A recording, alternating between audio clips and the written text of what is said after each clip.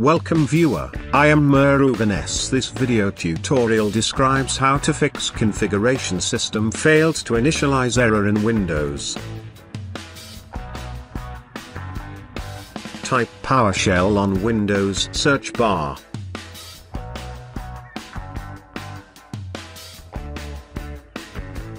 Right-click Run as administrator.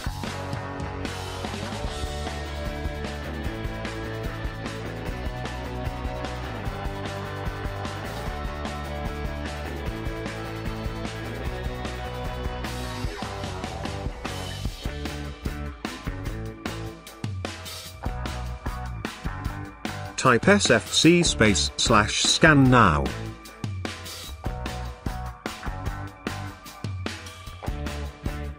Wait until it reaches 100%. It completes 100%. Restart your system.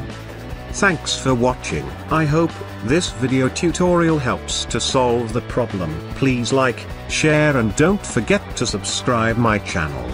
See you next video.